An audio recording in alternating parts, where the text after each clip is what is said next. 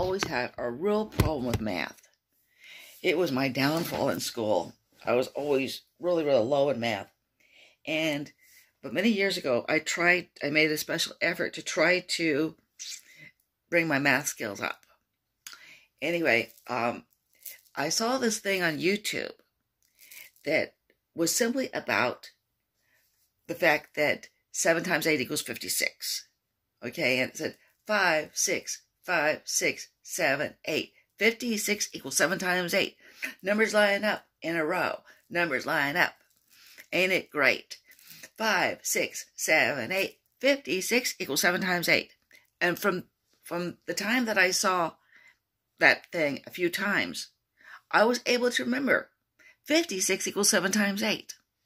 I and I have always had so much trouble remembering that. Okay.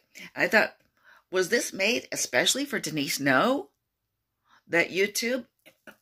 I wrote to uh, Dr. Arthur Benjamin about this.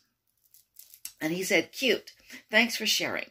Indeed, the three multiplication problems that people have the most trouble with are 6 times 7, 6 times 8, and 7 times 8.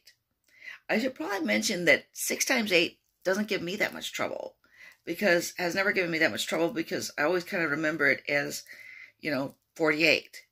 Okay, but he goes on to say 6 times 8 equals 7 times 7 minus 1. This trick works whenever two numbers differ by 2. Square the middle number and subtract 1, and you get the answer. So that's, you know, a mnemonic. That's a memory device to help you remember that 6, 6 times 8 equals 48 because it's um, 7 times 7, 49 minus 1. Okay. So, uh, and he remarked that uh, now we have a good mnemonic for 56 equals 7 times 8. 5, 6, 7, 8. Numbers line up. Ain't it great? Okay. And he says, all we need now is a good one for 6 times 7 equals 42.